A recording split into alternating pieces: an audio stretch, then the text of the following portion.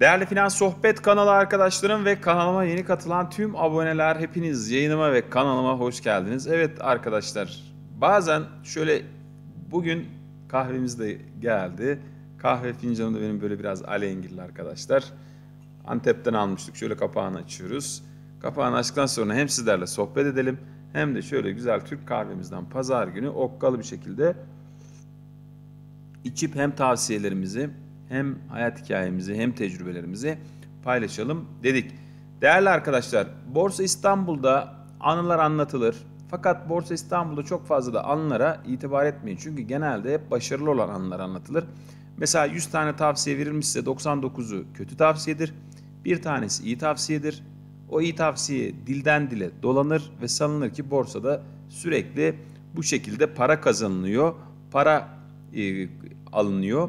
Fakat kazın ayağı öyle değildir. Ancak benim bu anlatmış olduğum hikaye %100 doğru ve gerçek bir hikayedir.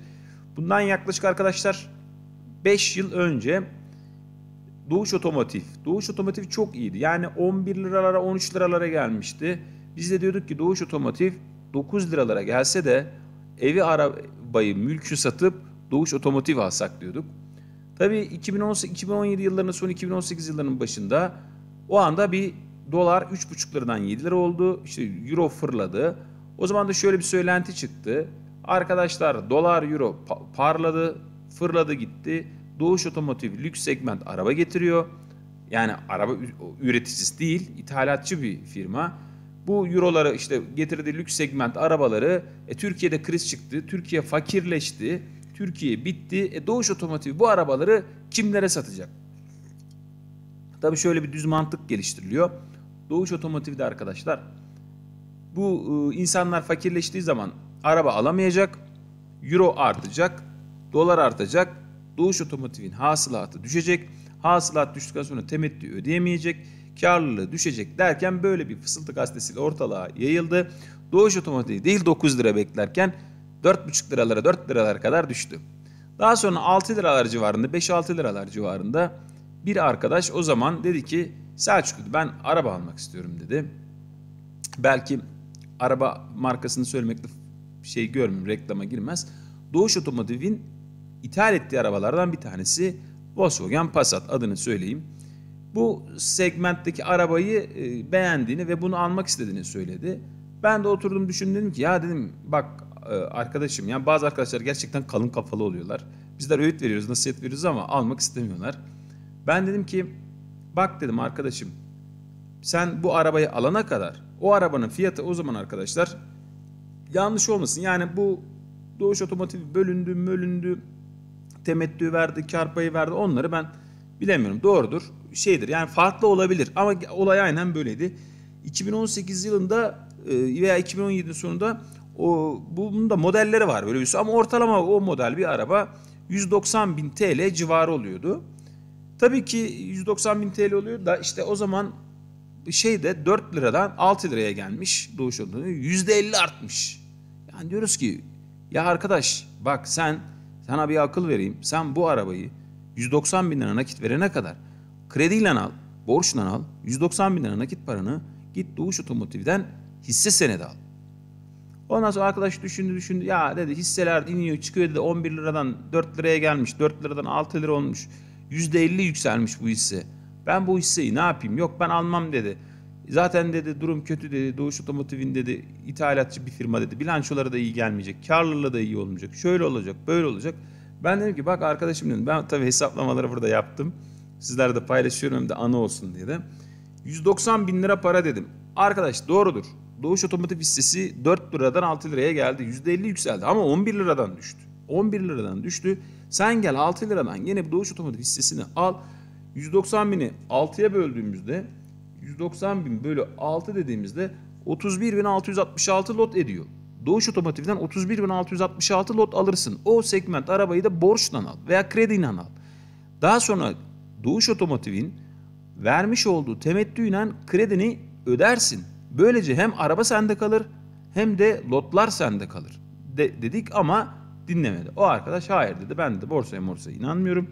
Burası fırıldak bir alem doğrudur. Fırıldaklıkları vardır borsanın. Kısa vadeli düşünür, düşünürsen borsayı Gerçekten bu fırıldaklıklara düşersin ve arkadaş gitti nakit parasıyla değerli arkadaşlar 190 bin liraya Volkswagen Passat'ı aldı. Peki ne oldu ondan sonra? Tabii ki bu de, denilen, bu fısıltı gazetesi denilen yok Türkiye fakirleşti, Türkiye artık euro dolar fırladı gitti, artık euro ile dolarla gelen lüks segment araba satışları olmayacak, araba satışları düşecek falan derken tam tersi oldu. Doğuş Otomotiv hasılatına hasılat kattı, karlılığına karlılık kattı, temettüsüne temettü kattı. Ee, insanlar da ne öldü ne bitti bu ülkede. Hala da e, o hatta otomobil otomotivler otomotiv otomobiller e, yok satıldı. E tabii şimdi şöyle baktığımızda arkadaşlar o arkadaşın elinde 5 yıl önce Doğuş Otomotiv olsaydı 31.666 lot. Ben şu an Doğuş Otomotiv'e baktım şu an ilgilenmiyorum ama fiyatına baktığımda 257 lira olduğunu gördüm. 257 lira olduysa sadece temettü hariç temettüyü bıraktığınızda 8 milyon 138 bin TL yapar. Yani Doğuş 8 milyon 100 Şu an o arabayı satsanız 1,5 milyon TL ediyor mu etmiyor mu 2018 model Passat bilmiyorum etmiyordur muhtemelen. Daha düşük ediyordur. Şimdi şöyle baktığımda da Doğuş Otomotiv ya işte hani hasılatı olmayacak, temettü vermeyecek de 2019 yılında 0,61 kuruş temettü vermiş. 2019'daki temettüsünü hesapladığımızda arkadaşlar ne yapıyor? 19.316 lira temettü yapıyor. 2019 yılında. 2021 yılında iki tane temettü vermiş. iki tane. Bunlardan biri 1,36, diğeri 1,36. 1,36 desek, hadi 32 bin not olarak hesaplayalım. 43 bin. 2 ile çarpsanız 87 bin TL daha temettü almış olacaktı.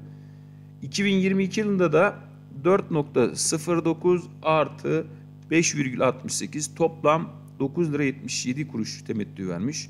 32 bin not tutsanız 312.640 lira ediyor arkadaşlar. 2000. 2023 yılında ise 5 lira 68 kuruş bir vermiş. 11 lira 36 kuruş bir vermiş. 9 lira da bir vermiş. Toplam 26 lira Doğuş Otomotiv temettü vermiş. Bunu da yeniden 32 bin notla çarptığınızda 833.280 lira. Yani şu an eğer o arkadaş 2008 yılında 2018 yılında araba almayı krediyle Doğuş Otomotiv'in ithal ettiği aracı alsa ve elindeki nakit parayla Doğuş Otomotiv'in hisselerini almış olsa araba şeyle temettülerle bedavaya geliyor. Elinde de 32 bin not Doğuş Otomotiv hissesi oluyor ve o Doğuş Otomotiv hissesinin bugünkü değeri ise 8 milyon 138 bin TL oluyor. Sadece 5 yıl içerisinde.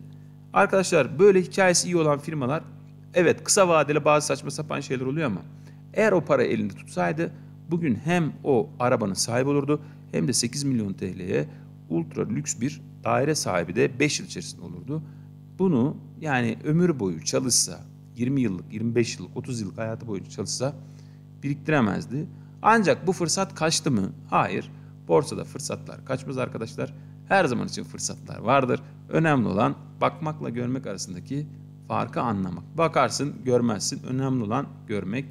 İyi pazarlar diliyorum. Mutlu kahveler, mutlu pazarlar. Allah'a ısmarladık.